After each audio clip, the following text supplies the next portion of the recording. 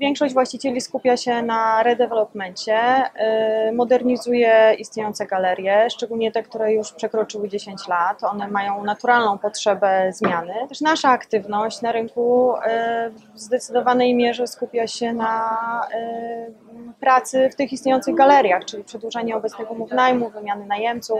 Te galerie, które powstaną w najbliższym czasie i są w planie typu Galeria Północna GTC w Warszawie, Galeria Młociny, może docelowo Jupiter, e, jak e, Wrocławia we Wrocławiu, to, to, to są pewnie ostatnie z tak znaczących galerii w Polsce. No oczywiście coś pewnie jeszcze e, może się wydarzyć, natomiast rzeczywiście mm, wszystkie siły już skupiają się raczej na istniejących i na releasingu.